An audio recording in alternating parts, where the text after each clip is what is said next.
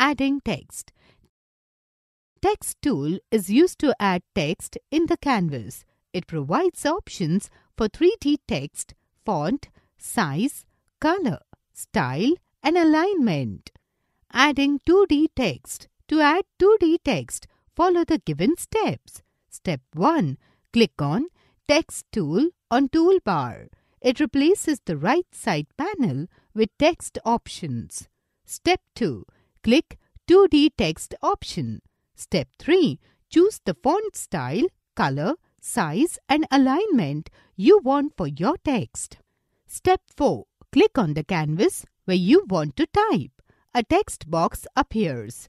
Type the text. The typed text will appear as shown in the above example.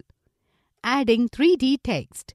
To add 3D text to your drawing, follow the given steps.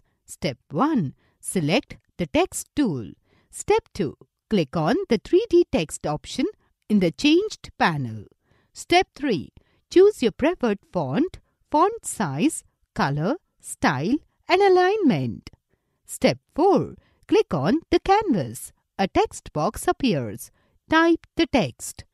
When you have completed typing the text, click anywhere outside the text box.